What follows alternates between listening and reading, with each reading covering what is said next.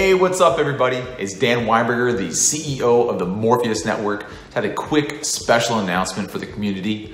We have hit the soft cap. Basically, this is happening.